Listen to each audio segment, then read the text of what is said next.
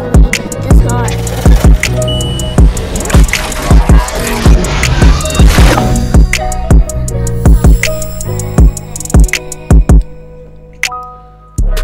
YouTube, what's going on? It's your boy Beam, and today I'm gonna be teaching you guys how to do one of these executive hundred dollar lineups. This is something that just comes in the shop a lot of times when we get a lot of barbers in the world that do a lot of lineups. So, you know, this is still one of the things that is very hard for a lot of barbers to get right.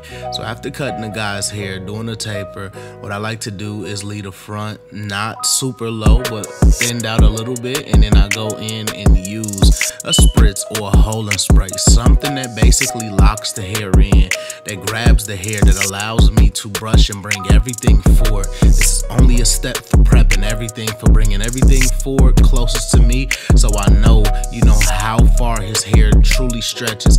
My next step, one of the most important steps you ever dealing with a waver or anybody with a smooth, dark Caesar or clean cut, you always want to go over the top of the haircut. You want to float over the top of it. You want to knock all of the roach legs off and get everything down consistent.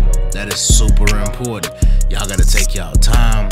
You got to make sure that it's always tender love and care throughout these haircuts and have fun doing what you're doing, man. The difference between you and the regular barber in the world is the regular barber cuts hair in terms of you being an elite barber or trying to be elite barber out there paying attention to detail was gonna take you to the next level. So I go in, hit my vertical slants behind the ear. As you guys see, I'm folding the ear down. And once I get to the tip of the ear, I'll use the corner of my blade to work myself around that corner, giving myself a clean, clean, clean lineup. As you can see, Babyliss is hidden. The client has a decent, decent, decent texture hair, and everything is just coming forward, you know? So, like, when you get clients with this type of texture of hair, the hair just basically lays down. Not saying that any other texture is wrong, but if it was super coily, um, then it wouldn't comply as much. I would have to comb and brush it as much, but because everything lays down, look at the frame out work. Verticals is nice behind the beard, clean like fire. This is clean, man. Y'all know me. You do one thing to one side, you do it to the other common denominator. Whatever you multiply that bottom by, you multiply the top by. And I just make it that efficient. Make those analogies with third and fourth grade math. And that's just what it really is about. Like the making the complex things simple as possible. And to everybody out there that's working, that you know, got friends, family, whatever it is, stop expecting people to see your vision or your dream. You just got to show them. That's one thing that I learned before YouTube.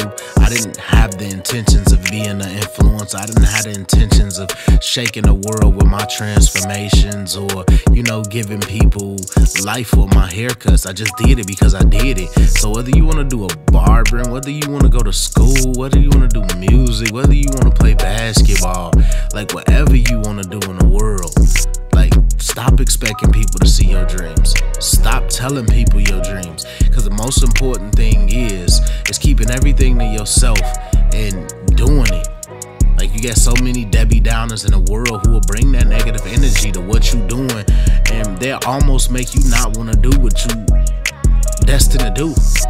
And if you let somebody else's thoughts overpower you where you want to be in terms of uh, life or what you want to chase, like then you will always sit in that same pocket. Remember, misery loves company. And in this world that we live in, don't nobody else pay my bills. I'm a grown man. I gotta pay my own bills. So the last thing I'm doing is worried about somebody else's opinion about the things that I'm chasing in life. Because if you do that, gonna forever be in the box. And that's just a gem, I hope that y'all able to take that. I'm pretty sure it's a lot of people on my page that's older than me that, that know that. But like to all of my younger guys that's out there, my younger women that's following me, don't let nobody dictate where your dreams go. So I'm just staying consistent. As you guys can see, I've been banging on my vertical bars and my slight C cups. My client C cups isn't super strong, but they clean. Next step is to go in using my color card, assisting it with the compressor and the color no drip black brown. I want to hit this lineup. I want to give it some darkness to it. I want to give it some pop, some flush, some flash. And y'all know how I give it up on my channel. Anytime I'm enhancing, I'm showing you guys how to add services. You could be a barber that's charging $35, $40 for regular haircuts. You add services like color or hot towel shaves or massages, whatever you want to add in terms of your services behind a chair is going to extend the amount of revenue in a ticket that you make behind a chair and it's also going to give the clients more of a variety to pick from. So understand and know like color ain't got to be for you. Like y'all know me, I've been doing color since I've been on YouTube. I'm not trying to sell nobody on color. We got the number one selling color on the market in the barber industry. We got the most innovative tools in Tomb45. I'm not worried about selling something that's gonna sell itself every rip. What I'm worried about is showing you guys how to add services efficiently and how to make more money behind this chair. It's a difference between me and a regular barber. I'm not the best barber in the world, but I can guarantee you I clear six figures in three fourths of the year. With that being said, there's an understanding to this thing. If you want to be a six figure barber, you want to be somebody who could bring in that type of money, you want to be somebody who could create that type of financial freedom for yourself, you're going to add services to whatever that you're doing to extend how much you make behind that chair. So I go in with some spritz. I'm hitting the lineup with my blow dryer. I'm going in with my pencil now. As you guys can see, I got my compressor, my color, my pencils. All of those are achievable and accessible on the Tomb45 website. I have my affiliate link somewhere in my description. Not even somewhere. I'm putting it at the top of the description.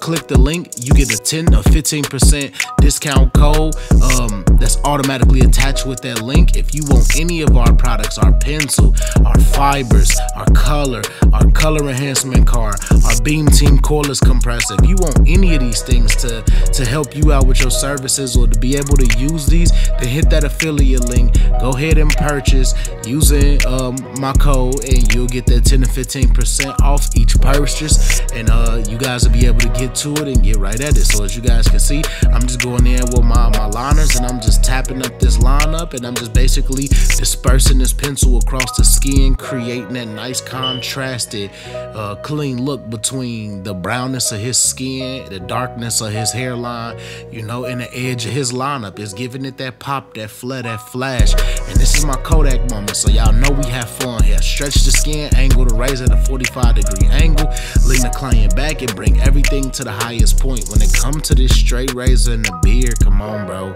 Like, come on, bro. I'm a different animal with this.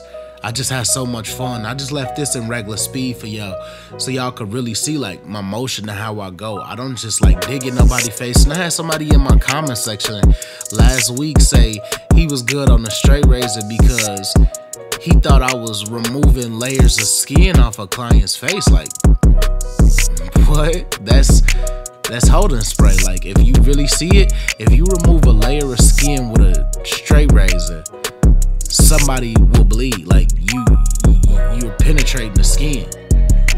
you're not gonna be able to just remove layers of skin. And if you do, and they're not bleeding, like they doing some type of magic. But to be honest, like I take my time with everything that I do. I'm super precise, I'm super sharp, and I stay in that bag for a reason because that's why I create my demand. This is why clients come to me. They feel like if they go to Beam that they gonna get what I call precision. And if I sell myself based on precision, it's so many men in the world who want to be sharp, who want to be clean, who want their lineup to be precise. They like that Steve Harvey look. And I always focused on that sharper image look because at the end of the day, I've always been focused, you know, on giving people something that they can't get from the average barber. You know, there'd be so many people who want to be well-rounded, which is nothing wrong with that. Or they want to be, you know, people who got the best face. Nothing wrong with that. Or people with the best best lineups. Nothing wrong with that. Me personally, I like to be able to have a nice combination of both, but I do make sure that my lineup sticks out way more than my fade. Ain't nobody walking up to my clients telling them, hey, that's a nice taper. Like, it, they, I'm pretty sure it's happened before, but more people gonna walk up to my client and say, dang, like who lines you up? And that's what I want. I want that eye popping moment. I want soon somebody step out. They're my walking advertisement. This is why I don't use business cards. My clients are my are my advertisement. They are my business cards. Those are the people that do the advertising for me. I don't tell them to go do it, but the haircuts are so clean, it's undeniable. Like when you see somebody this crispy, you better speak up and say something. And that's what it's about. That's how I separate myself from everybody, whether it's YouTube, whether it's not. We got amazing barbers in this world, but it's so it's only so many barbers that are really, really, really precise. Like they got this thing that's called barbers eye, right? Meaning you should be able to spot any hiccup throughout a haircut. But in terms of precision, this is not just experience. This is not just barber's eye. Like I'm built this way. Everything in my life, I always thought engineering wise. Everything is angles, it's obtuse, it's right angles. You get what I mean? Like I see shapes in my head. When I see a client who completely has no lineup, I see the shape in my head. Like it's very hard to explain, but I just see it. Like I just see it. Like that's why I'm able to freehand the beard. You know how many people gotta go in, they gotta touch the beard with the clippers to get themselves a rough draft, then they gotta go clean that lineup. I jump right into a beard with a straight razor because I seen the curve on that beard before it even happened. First time client or not, I could see the angles. That's my gift. You know, God blessed me with being able to see angles and, and be able to crunch numbers before he ever gifted me to be able to cut ahead. And that was it. I just clashed the two worlds together and boom, you got precision. I'm telling y'all, it's so many gifted people out in this world. They just collide and they gifts with the wrong, you know, the wrong professions. And at times your gift don't get a chance to shine.